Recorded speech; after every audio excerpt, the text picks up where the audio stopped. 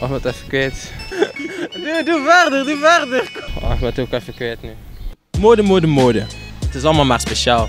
Tegenwoordig is er een nieuwe trend genaamd gorpcore. Gorpcore is functionele outdoorkledij dragen in het dagdagelijkse leven. Zoals een vissershoedje, warme kledij voor lange wandelingen en dikke wandelschoenen. Maar wat trekt mensen daar zo hard in aan? Wij gingen het vragen in Gent.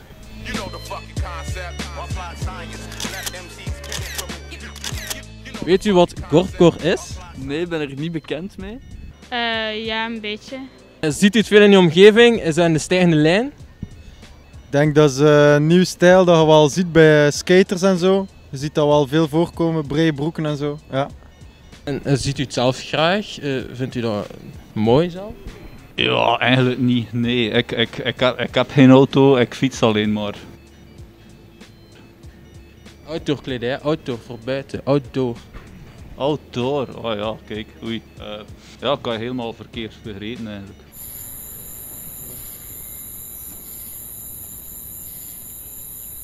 Draag je het zelf veel? Uh, soms wel zo van die wandelbroeken of zo, die afzetbroeken zoals deze. En uh, waarom denk je dat mensen heel veel dragen? Denk je dat dat technisch aspect, zo dat waterdicht zijn en zo, denk je dat dat een, een effect heeft om mensen dat dragen? Of? Ja, dat is gewoon, uh, mensen werken veel of zo. En ze komen van hun werk of zo. En ze gaan gewoon zo flexen, weet je al. Gewoon direct naar de graslei, chillen, zoiets. Um, maar we kunnen anders nog eens bevestigen wat het precies is.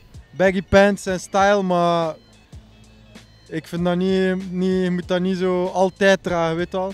Soms moet hij ook deftig zijn. Als hij gewoon uh, vrijdag in het weekend uitgaat, dan moet hij gewoon hemdje aan doen of zo. Vind je het zelf mooi als je dat ziet bij anderen? Zeker, zeker. Sowieso, soms.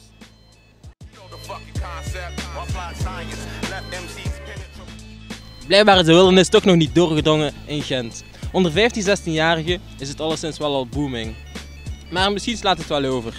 Ik zie het alleszins wel zitten. Ciao.